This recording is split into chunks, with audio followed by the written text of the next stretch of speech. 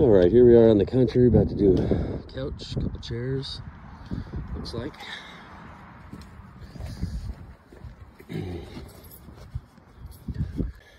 And then the bait, can you can you lift that and see about where we're at?